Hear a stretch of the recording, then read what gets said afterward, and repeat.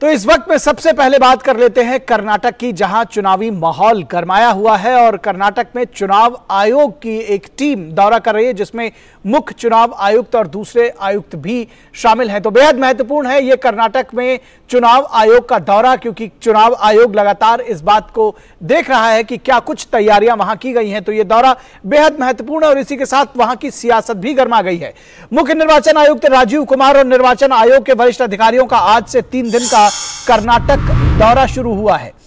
आयोग विधानसभा चुनाव की तैयारियों के सिलसिले में बेंगलुरु में चुनाव अधिकारियों और वरिष्ठ पुलिस कर्मचारियों के साथ बैठकें कर रहा है। आयोग राजनीतिक दलों के प्रतिनिधियों के साथ बातचीत करेगा और स्वतंत्र तथा निष्पक्ष चुनाव के लिए उनसे सुझाव मांगेगा। चुनाव आयोग यात्रा के दूसरे दिन चुनाव पूर्व तैयारियों के बारे में चौंतीस जिलों के चुनाव अधिकारियों के साथ बैठक कर रहा है। निर्वाचन आयोग अपने दौरे के अंतिम दिन मीडिया को भी संबोधित करेगा।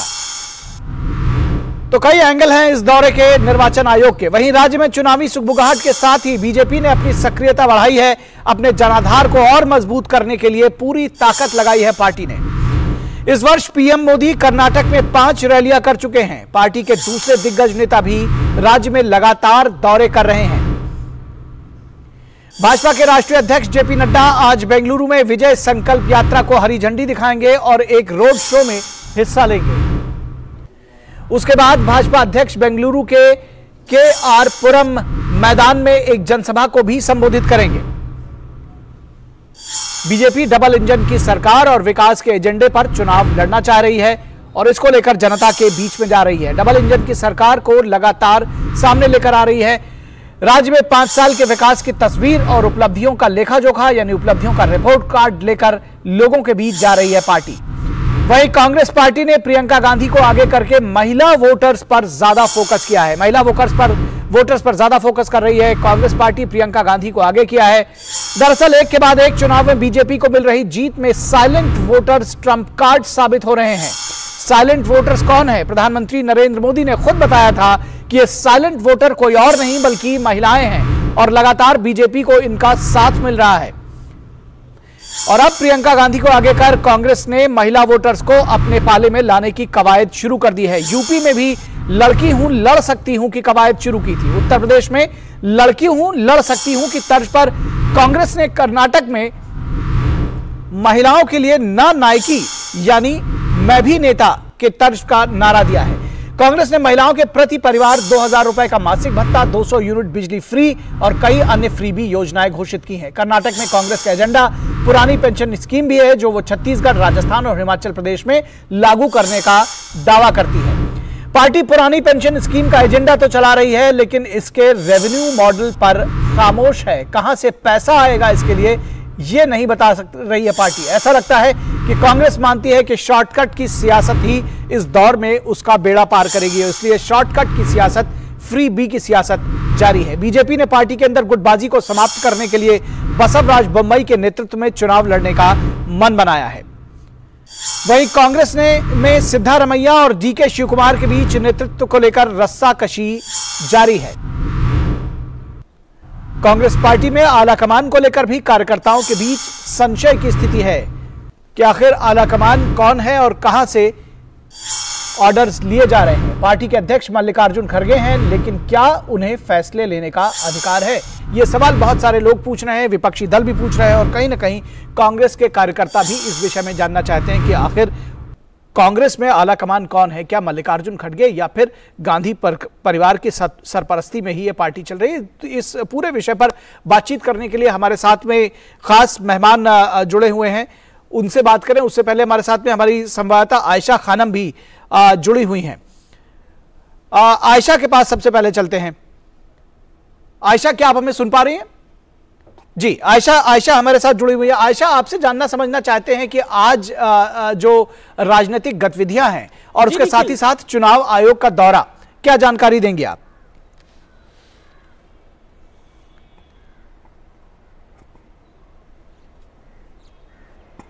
जी हाँ बिल्कुल जैसे ही चुनाव आयोग की टीम बैंगलोर पहुँची है, आज तो चुनावी सरगर्मियाँ तेज हो गई हैं और तमाम राजनीतिक पार्टियों में काफ़ी हलचल नज़र आ रही है। और चुनाव आयोग की तरफ़ से मुख्य चुनाव आयोग जो है राजीव कुमार और दूसरे आला अधिकारी आज बेंगलोर में लगातार बैठकों का सिलसिला शुरू किया और आज शाम को बेंगलोर में एक इंक्लूसिव डेमोक्रेसी पर अंतर्राष्ट्रीय सेमिनार है और इसमें आज भाग लेंगे।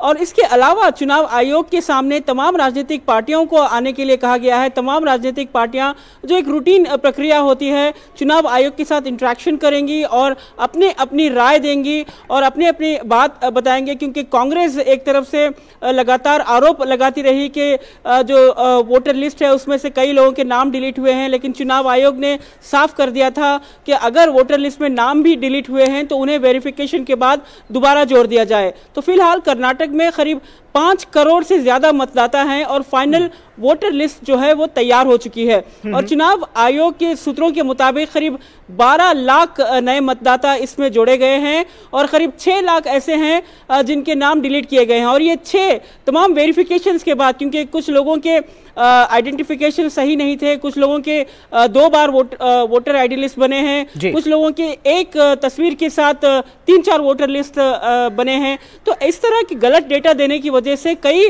वोटर लिस्ट में जो नाम है उन्हें हटाया गया है। हम्म। तो चुनाव आयोग ने साफ़ किया है कि फ्री एंड फेयर इलेक्शंस यानी स्वतंत्र और निष्पक्ष चुनाव करने में चुनाव आयोग कोई अनदेखी नहीं करेगा। तो इसकी पूरी तैयारी नज़र आ रही है। अभी देखना दिलचस्प होगा कि शनिवार को जब चुनाव आयोग प्रेस कॉन्फ्रेंस करेंगे उस वक्त क्या डिटेल सामने निकल कर आता है? क्योंकि यही कहा जा रहा है राजनीतिक राजनीतिक सूत्रों के मुताबिक कि करीब 27 से 28 तारीख तक कर्नाटक में कोड ऑफ़ कंडक्ट लागू हो सकता है। तो ऐसे हम्म। में तमाम राजनीतिक पार्टियाँ कमर कसली है और मैदान में उतरने के लिए तैयार हैं। जी जी निश्चित तौर पर तो सियासी गतिविधियों के विषय में आपसे जानना चाहते हैं। आज बीजेपी के विजय संकल्प यात्रा का भी आ, के बारे में भी जानकारी मिली है। उसके साथ ही साथ कांग्रेस पार्टी भी अपनी जो चुनावी गतिविधियाँ हैं उनको तेज कर रही है।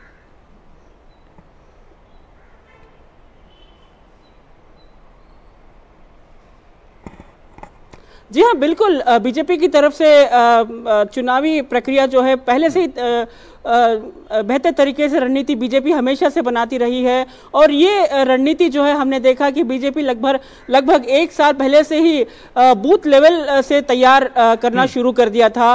और जो। बीजेपी के वरिष्ठ नेता है अमित शाह उन्होंने लगातार कार्यकर्ताओं में उत्साह और उन्हें मोटिवेट किया है। और लगातार उनकी जो यात्रा रही है कर्नाटक में इसके चलते बीजेपी के कार्यकर्ता काफ़ी उत्साहित और चुनाव लड़ने की तैयारी में जुटे रहे तो हम्म। बीजेपी एक तरफ़ प्रधानमंत्री नरेंद्र मोदी की जो रैलियाँ भी हो रही है कर्नाटक में और कई विकासशील योजनाओं का उद्घाटन हो रहा है कर्नाटक में। 12 तारीख को प्रधानमंत्री नरेंद्र मोदी कर्नाटक पहुँच रहे हैं। बैंगलोर मैसूर हाईवे का उद्घाटन करेंगे। और ये तमाम जो विकासशील योजनाएँ हैं बीजेपी इस आधार पर लोगों के सामने वोट मांगेगी। और बीजेपी के पास एक ही मंत्र है विकास। और इस विकास के मंत्र के ज़रिए बीजेपी को यकीन है कि कर्नाटक के मतदाता इसको देखेंगे कि किस तरह से ये विकास और लोगों में लोगों ने इसका लोगों तक फ़ायदा पहुँचा है। तो दूसरी तरफ़ कांग्रेस भी आरोप प्रत्यारोप का सिलसिला और लगातार तीखे तेवर अपनाते हुए बीजेपी सरकार पर हमले तेज करती रही है। तो कांग्रेस अपनी तरफ़ से तैयारी में जुटी हुई है कांग्रेस को कांग्रेस का ये कहना है कि क्योंकि कांग्रेस ये मान रही है कि कर्नाटक में एंटी इनकम्बेंसी के चलते उन्हें फ़ायदा पहुँच सकता है। हम्म, लेकिन बीजेपी हम्म, हम्म। को इस बात का यकीन है कि डबल इंजन सरकार के चलते कर्नाटक में बीजेपी एक बार फिर 140 सीट का जो टारगेट बीजेपी ने रखा है इस टारगेट को हासिल कर सकती है क्योंकि कर्नाटक में 113 का जो नंबर है जो मैजिक फिगर है सरकार बनाने के लिए 113 है तो बीजेपी की बीजेपी का टारगेट 140 है। तो इस विश्वास के साथ बीजेपी अपने तमाम आला नेताओं को मैदान में उतार रही है। कई अ, केंद्रीय मंत्री कई बीजेपी के वरिष्ठ नेता कर्नाटक में विजय संकल्प यात्रा में भाग ले रहे हैं। और 24 मार्च को विजय संकल्प यात्रा का अंतिम दिन होगा दावणगिरी में जहाँ प्रधानमंत्री नरेंद्र मोदी इसमें भाग लेंगे और लोगों को संबोधित करेंगे। चलिए कितना असर पड़ता है जनता के ऊपर कांग्रेस और बीजेपी की कोशिशों का? ये ये अभी कह पाना मुश्किल है जनता तय करेगी। फ़िलहाल आप हमारे साथ बनी रहें यहाँ पर हम खास मेहमानों को इस पूरी चर्चा में जोड़ना चाहते हैं। हमारे साथ में एमजी महेश जो कि स्पोक्स पर्सन है बीजेपी कर्नाटका के वो हमारे साथ जुड़े हुए हैं। एमजी महेश जी बहुत स्वागत है आपका हमारे साथ इस चर्चा में जुड़ने के लिए। साथ ही साथ ऋषि मिश्रा जो कि पॉलिटिकल एनालिस्ट हैं ऋषि मिश्रा जी स्वागत है आपका। और ऋषि मिश्रा जी कांग्रेस के समर्थक भी माने जाते हैं तो हम उम्मीद करते हैं कि कांग्रेस की बातों को भी वो अपनी तरफ़ से शायद रख सके। कोई कोई ऐसा दबाव तो नहीं है लेकिन निश्चित तौर पर साथ ही साथ आर राजा गोपालन जी जो सीनियर जर्नलिस्ट हैं वो भी हमारे साथ बने हुए हैं इस पूरी खबर पर इस पूरी चर्चा पर बातचीत करने के लिए। ऋषि मिश्रा जी अगर आपके साथ इस पूरी चर्चा की अ, शुरुआत करना चाहें ये समझना चाहें कि आखिर जो भारत जोड़ो यात्रा थी उसमें हमने देखा कि डी के शिव कुमार और सिद्धारमैया को एक साथ लेकर एक साथ उनका हाथ पकड़कर चलते हुए दिखाई दे रहे थे राहुल गांधी। आखिर क्या मजबूरी है? आ, ऐसा लगता है कि कहीं इन दोनों नेताओं की जो आपस की गुटबाजी है वो पार्टी पर भारी पड़ेगी या फिर एंटी इनकम्बेंसी फैक्टर का आप लोगों को विश्वास है? कर्नाटक नहीं। दिन नहीं निश्चित ही डीके शिव कुमार और सिद्धि रमैया जो हैं कर्नाटका कांग्रेस के बड़े नेता हैं एक प्रदेश अध्यक्ष हैं दूसरे पूर्व मुख्यमंत्री रहे हैं और दोनों का मैं समझता हूँ कहीं कि बेहतर कोऑर्डिनेशन है।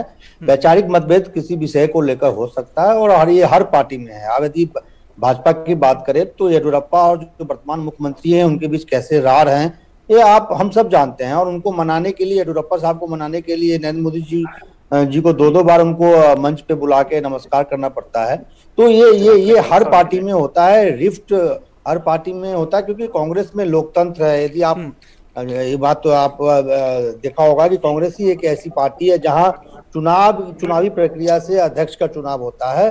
और ये सौभाग्य की बात है कि जो मल्लिकार्जुन खड़गे साहब है कर्नाटका से आते हैं एक मजदूर का बेटा आते हैं और निश्चित ही भारत जोड़ो यात्रा का फ़ायदा कांग्रेस को आगामी चुनाव में होगा। और कांग्रेस पूर्ण मेजोरिटी से सरकार चलिए आपने कहा कि कांग्रेस में लोकतंत्र है तो एक सवाल ये भी लोग उठा रहे हैं लगातार कि क्या मल्लिकार्जुन खड़गे के पास पावर सचमुच में है? वो सचमुच अध्यक्ष की पावर एंजॉय कर रहे हैं या फिर पार्टी का चेहरा जिस तरह से राहुल गांधी हैं और गांधी परिवार के पास ही वो उनकी खड़ाऊं लेकर आगे चल रहे हैं इस विषय पर आपके पास आएँगे लेकिन हम फ़िलहाल एमजी महेश जी के पास चलते हैं। एमजी महेश जी कर्नाटक की पूरी राजनीति में जिस तरह से आपने देखा कि सिद्धारमैया और डी के शिव कुमार की बात को ऋषि मिश्रा जी कह रहे हैं कि ये तो डिफरेंसेस इस तरह से नहीं है जो कोई सतह पे आया ये अ, एक मतभेद है मनभेद कुछ नहीं है और मनभेद ज़्यादा बीजेपी में है। किस तरह से आगे बढ़ने की तैयारी कर रहे हैं आप लोग?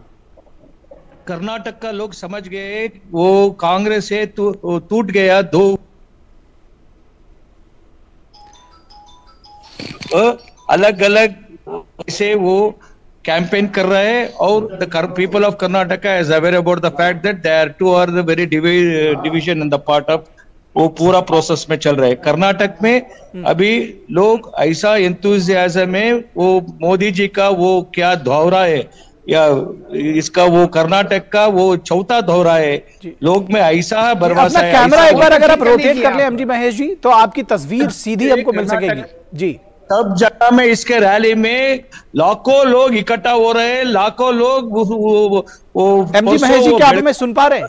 मैं कह रहा हूँ अपना कैमरा अगर आप रोटेट कर लेंगे तो दर्शक आपकी तस्वीर भली भांति देख सकेंगे। अभी वो जी परपेंडिकुलर आ रही है। जी जी जी जी थैंक यू थैंक यू जी अपनी बात जारी रखिए Karnataka the people of Karnataka is very much they are very enthusiasm the visit of the prime minister of this country and the people they are gathering for the rallies is the number is more than 10 lakhs in somewhere of the part of the Karnataka ऐसा ही लोग इकट्ठा कर रहे हैं वो ऐसा उम्मीद है कर्नाटक में लोग का वो इस बार भी वो क्या है सब आप बात किया था पहला है first time in the history of the Karnataka there is a pro incumbency there is no anti incumbency as the part of it the pro incumbency चल रहा है लोग दोनों डबल इंजन सरकार का भरवासा ऐसा ही रखा है वो वो मोदी जी का दौरा और कर्नाटक का साढ़े तीन साल का हमारा विकास जी। वो दोनों मिलकर लोग ऐसा खुशी है, वो ऐसा माहौल का वो इंतज़ार कर रहे हैं, वो आने वाले दिन का वो चुनाव है, सबको सबक सिखाता है। जी, ऋषि मिश्रा जी आपके पास आ रहे हैं, आर राजगोपालन जी को अपने साथ जोड़ा, जोड़ना चाहेंगे। राजा गोपालन जी,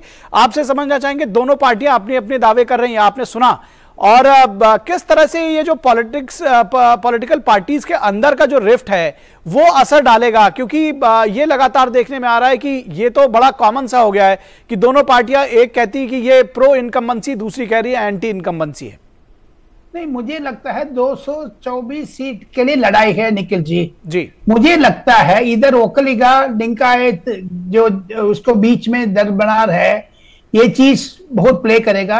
कुमार स्वामी साहब का जो अकेले जाना एकले चलो अकेले जाना ठीक नहीं है एंड सेकंड थिंग जो अमित शाह साहब ने बात जा करके बोला है कुमार स्वामी कांग्रेस को बी टीम कर दिया है लेकिन मुझे लगता है जो रमेश बीजेपी का स्पोक्स पर्सन ने वो गलत बोला है हम्म। कांग्रेस ने दो गुट करके ऐसे दो गुट नहीं है उधर तीन गुट है हम्म। क्योंकि मल्लिकार्जुन खड़गे एक अलग गुट है। मल्लिकार्जुन खड़गे का तो छोड़ दीजिए मार्केट तालवान ने ओपनली बयान दिया है कांग्रेस का टिकट सौ करोड़ बेचते हैं कर। एकदम लगा दिया है जो मालवान ने उसके ऊपर। सेकंड थिंग जो अभी करस्पॉन्डेंट ने बोला था पाँच करोड़ वोटर्स है बारह लाख न्यू वोटर्स है। बारह लाख न्यू वोटर्स में आपको पता लगना चाहिए ये लोग बिल्कुल मोटा डिजिटलाइजेशन कोरोना 250 करोड़ कोरोना को वैक्सीनेशन हो गया। हम्म। उसमें बिल्कुल सुविधा मिली थी उन लोगों का। मुझे लगता है आने वाले दिन में जो डबल इंजन सरकार को बारे में बोल रहे थे उसको फ़ायदा तो नरेंद्र मोदी को होगा क्योंकि आक्रोश हो गया है आम जनता को बीच में। तीनों कैंडिडेट सिद्धारामैया हो येडुरप्पा हो यू नो कुमार स्वामी हो ये तीनों ऐलान कर दिया है ये आखिर चुनाव है। अगले चुनाव में नहीं लड़ूँगा करके क्योंकि उनको पता है एज निकल गया है दूसरी चीज़ है उधर आने वाले दिन पर युवा पीढ़ी बहुत आ गया है। सबको छोटे छोटे पच्चीस छब्बीस तीस चालीस उम्र को आप सब लोग आ गए हैं। हम्म, हम्म। ये चीज़ है। तीन विपक्ष उधर है। एक जेडीएस हम्म। कांग्रेस बीजेपी। जी। खट्टर तो कांटा का तरह टक्कर कट्टर है। मुझे लगता है जो नरेंद्र मोदी का जो छवि है बीजेपी वोट्स को अधिक है लेकिन नरेंद्र मोदी के लिए अलग पाँच दस परसेंट वोट है। वो बिल्कुल बीजेपी को आगे लेके जाएगा, जैसे आपको करस्पॉन्डेंट मरू कानून ने बोल रहा था। ये 140 तक तो नहीं है 120 125 में आकर के बीजेपी बैठेगा, कितना भी गणित आ रहे कांटा का टक्कर बोल रहे हैं लेकिन ये ये, ये तो खैर वोटर्स तय करेंगे दरअसल कि कितनी सीटें देनी है। ऋषि मिश्रा जी एक सवाल लगातार जी जी हम आपके पास ही आ रहे हैं तो हमारा सवाल भी ले लीजिए और उसके बाद आप अपनी बात भी उसमें जोड़िएगा ज़रूर जो आपको जवाब देना है। ये भी समझना चाहेंगे मल्लिकार्जुन खड़गे भी वहीं से आते हैं लेकिन उनके ऊपर तमाम सवालिया निशान लगाए जाते हैं। कहा जा रहा है कि वो कार्यकर्ताओं के अंदर ही संशय है कि क्या वो आला कमान है और यदि आला कमान है तो उनकी स्थिति क्या है उनकी पावर्स क्या है क्योंकि वो कहीं ना कहीं गांधी परिवार की खड़ाऊ लेकर आगे चलते हुए दिखाई दे रहे हैं। देखिए सबसे पहले मेरा, मैंने जो, मैं जो कहना चाह रहा था, देखिए, कर्नाटका में बीजेपी की ये स्थिति बन गई है कि जिस येडुरप्पा को सबसे भ्रष्टम नेताओं में सुमार माननीय अमित शाह मानते थे, आप कर्नाटका कर्नाटका विधानसभा चुनाव में जब येडुरप्पा साहब बीजेपी से अलग हुए, उस समय के स्पीच को आप देखेंगे तो यही नरेंद्र मोदी जी और अमित शाह जी येडुरप्पा को सबसे भ्रष्टम नेता बता रहे थे कर्नाटका के हम्म। आज उसी येदुरप्पा के शरण में जाना पड़ रहा है कर्नाटका में बीजेपी को बचाने के लिए हम्म। आप ताज़ा उदाहरण देखिए कर्नाटका मत जाइए मेघालय में देखिए मेघालय में जिस एनपीपी सरकार को अमित शाह नरेंद्र मोदी जी ने पानी पी पी के कोसा हम्म। आज उसी संगमा जी के शपथ में माननीय नरेंद्र मोदी जी और अमित शाह जी मौजूद होते हैं। देखिए तो पार्टी की डिफरेंसेस की बात चल रही है दरअसल ऋषि मिश्रा जी और मुझे लगता है कि ये तो सभी पार्टियों में है। अगर कोई नेता कांग्रेस की तरफ़ आ जाएगा तो आप उनकी बात करने लगेंगे। ये तो सारे पार्टियों में मैं मैं मैं सिर्फ़ ये जानना चाह रहा हूँ कि जो आपका प्रेफरेंसेस हैं। सचिन एक मिनट एक मिनट सचिन पायलट अशोक गहलोत जी अब अब ये सब इसीलिए इसीलिए राजा गोपालन जी आप आप राजस्थान की बात ना करें और ऋषि मिश्रा जी आप भी आप भी जो है मेघालय और दूसरे राज्यों की बात ना करें। जब डिफरेंसेस की बात जाएँगे तो वो सचिन पायलट और दूसरे दूसरे नेताओं की बात करने लगेंगे। इसीलिए कह रहा हूँ कि जो जो जो जो आपके कर्नाटक के डिफरेंसेस की बात हो रही है डी के शिव कुमार सिद्धारमैया वो वो एक साथ उनका हाथ पकड़कर लेकर चलना पड़ रहा है ये सारी चीज़ें जनता देख रही है। दरअसल मैं, मैं सवाल हमारा यही है। मैं उस पे भी आ रहा हूँ। एंकर महोदय आप विद्वान एंकर हैं हम्म। आप जानते हैं मैं मानता हूँ कि हमारे प्रधानमंत्री देश के सबसे ईमानदार नेता है। हम्म। लेकिन क्या मजबूरी है कि देश के सबसे ईमानदार प्रधानमंत्री को भ्रष्टाचारियों के शरण में जाना पड़ता है हम्म। चाहे वो मेघालय हो या कर्नाटका हो। अभी कर्नाटक के ही एक बीजेपी के एमएलए के पुत्र हम्म। कितने पैसे उनके ऑफ़िस से कितने पैसे मिले हैं? हम्म। ये ये छत्तीसगढ़ में भी छत्तीसगढ़ में भी येचुरप्पा- डाला था। निखिल जी छत्तीसगढ़ में इतना भी लोड अरे भैया बोले दीजिए आप पत्रकार हैं। तकलीफ़ हो रही है।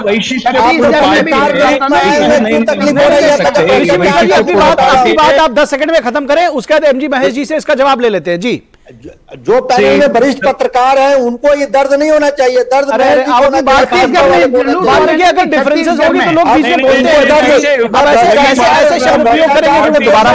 पत्रकार साहब हो रहा है? हमारा party the party is the difference देखो हमारा प्रधानमंत्री विधायक कैसे आपके विधायक एक के ऊपर एक मत बोलिए ऋषि कुमार जी महेश जी महेश जी महेश जी महेश जी एक बोलने एक मिनट देंगे एमजी आप। महेश जी एक मिनट शांत हो जाइए। ऋषि मिश्रा जी दस सेकंड में खत्म करिए उसके बाद में एम जी महेश जी से आपकी बात का जवाब ले लेता हूँ। देखिए, मेरा एक लाइन में कंक्लूड पॉइंट यह है कि बीजेपी को सत्ता कैसे भी चाहिए चाहे उनको भ्रष्टाचारियों के शरण में जाना हो जहाँ तक वैचारिक मतभेद की बात है तो जो जिस पार्टी में लोकतंत्र होगा उसमें वैचारिक मतभेद होंगे है। एमजी महेश जी ये कह रहे हैं कि चलिए आपकी बात समझ गए ऋषि मिश्रा जी। ये मैं- एमजी महेश जी ये कह रहे हैं कि इनकी पार्टी मैं वैचारिक मतभेद है। पार्टी इस पार्टी इस डिफरेंस कैसा है? देखो एक आदर्श कार्यकर्ता कैसा है? ऐसा कैमरा में कैसे लेते हैं अब मॉडल कैसा रखता है? देखो हमारा प्रधानमंत्री जी एक आदर्श कार्यकर्ता रूप वो पक्ष क्या तय करते हैं पक्ष का क्या कार्यक्रम थे वो सबको वो is the lead the whole thing वो कर्नाटक का ऐसा हमारा ऑर्गेनाइजेशन स्ट्रक्चर है हम पन्ना प्रमुख तक ऐसा काम साले लास्ट वन ईयर से हम कर रहे हैं आज हम we are very confident we will cross the 50 plus one percent of the marks in every booth of the Karnataka around 57,000 booth of the entire Karnataka ऐसा हमारा ऑर्गेनाइजेशन स्ट्रेंथ है ऑर्गेनाइजेशन का काम चल रहा है अभी। जी चलिए वरिष्ठ पत्रकार राजा गोपालन जी के पास एक बार आते हैं। जी। 150 mark of the the party has given us वो ही तय कर रहा है हमें वो वो पहुँचा रहे हैं हम लोग। जी राजा गोपालन जी भ्रष्टाचारियों की शरण में है तमाम सारी पार्टियाँ और ये आरोप जो है ऋषि मिश्रा लगा रहे हैं कह रहे हैं कि बीजेपी जो है वो भ्रष्टाचारियों के शरण में है। वो इसको इस तरह से देखते हैं। क्या कहेंगे आप? स्वाभाविक रूप से उनसे आज एक्सेप्ट नहीं कर सकते। कांग्रेस ने क्यों? एसडीपीआई पीएफआई के समर्थन कर रहा है। कम्युनिस्ट को क्यों किया है वो कांग्रेस? कांग्रेस में ईडी रेड इतना हो रहे हैं रेड शिव कुमार का बार बार जाना पड़ता है क्योंकि पैसा नोट कमा रहे राजीव गांधी फाउंडेशन का सोनिया गांधी का जितना पैसा दिया करके अरे येदियुरप्पा जी। तो येडियुरप्पा जी का ज़रूरत नहीं है। येडियुरप्पा जी को नहीं बोलना है। आप ईडी के बारे में बोल दीजिए किताब है जो ईश्वरप्पा के बारे में नहीं बोलेंगे। करना चाहिए। शिव कुमार जी ने कितना बार पैसा खाया है वो भी पता होना चालीस चाहिए। परसेंट कमीशन डायरेक्ट मांगते हैं। छत्तीसगढ़ में जो साठ परसेंट है आपको कर्नाटका से आने वाले वरिष्ठ नेता इस तरह इस तरह के तो 60% आरोप कोई भी लगा सकता है। देखिए इस तरह के आरोप कोई भी मैं किसी को डिफेंड नहीं कर रहा हूँ। आप तीनों अपनी अपनी बातें रखें। लेकिन मैं मैं मैं कह रहा हूँ कि बिना किसी किसी किसी आधार के इस तरह के आरोप तो कोई भी लगा सकता है। मुझे लगता है जी। निखिल जी मुझे भ्रष्ट नेताओं अरे कहा कहाँ छपा? आपने कहाँ पढ़ लिया? अरे भैया, इस तरह से कहेंगे तो भैया आपकी पार्टी को बोला होगा। येदियुरप्पा जी जब अलग पार्टी बना लिया इस तरह के इस तरह के वेग आरोप ना लगाएँ क्योंकि इससे क्या है कि जो हमारी चर्चा भी बाहर से आए थे ना? सिद्धरामैया भी बाहर से आए थे याद होना चाहिए कांग्रेस प्रवक्ता का। हाँ, वो जेडीएस से आए थे। चलिए। जेडीएस से आए थे कांग्रेस ही नहीं है आयशा आयशा जी के पास चलते हैं। आयशा जी आयशा जी तमाम ये पूरी बहस आप देख रही हैं। दरअसल इन सब के बीच में ये समझना चाहेंगे कि जनता के मुद्दे क्या हैं। जनता किस तरह से सोचती है? क्या ये जो भ्रष्टाचार के तमाम मुद्दे उठा रहे हैं, कट कमीशन, ये सारे भी मुद्दे हैं? और क्या जो जो महिलाओं को आगे करके कांग्रेस सामने आ रही है, क्या वो भी एक मुद्दा है? किस तरह से आप देख रहे हैं? डबल इंजन की सरकार, विकास, ये सारे, क्या क्या कुछ है मुद्दा?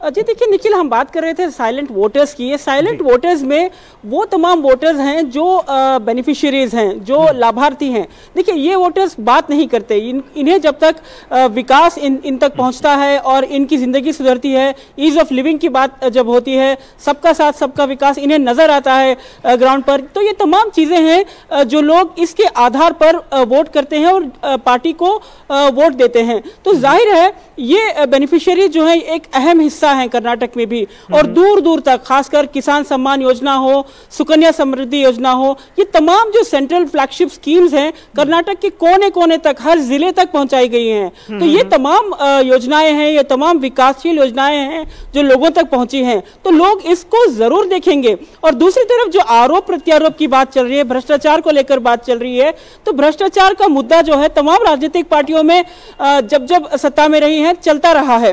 और कांग्रेस ने लगातार भ्रष्टाचार का मुद्दा उठाया है और कुछ समय पहले तक काफ़ी शोर मचाया था कि हम्म। कर्नाटक में जो कांस्टेबल रिक्रूटमेंट्स का जो स्कैम की बात कहती है कांग्रेस लेकिन अभी अभी तक कांग्रेस ने कोई पुख्ता सबूत नहीं पेश किया है इसे साबित करने के लिए हाँ। कर्नाटक सरकार इस बात के लिए तैयार थी कि अगर कोई पुख्ता सबूत सामने आता है तो हम्म। कई लोगों को आ, हिरासत में लिया जा सकता है लेकिन हम्म। अभी तक कांग्रेस इसमें नाकाम रही। तो ऐसी में ये महज राजनीतिक छिटाकशी करने या फिर एक दूसरे पर आरोप लगाने में अगर कांग्रेस इसे अपना वोट बैंक समझती है या फिर किसी एक विशेष वर्ग को अपना वोट बैंक समझती है तो कांग्रेस कहीं ना कहीं ये गलती हर चुनाव में करती रही है। और कांग्रेस को यह भी समझना होगा कि कैसे प्रधानमंत्री नरेंद्र मोदी के नेतृत्व में प्रधानमंत्री नरेंद्र मोदी ने हमेशा से महिलाएँ महिलाएँ हो या युवा हो और स्किल डेवलपमेंट हो स्टार्टअप हो ये तमाम चीज़ों को चीज़ों के ज़रिए सशक्त करने की स्कीम्स लोगों तक पहुंचाई है। तो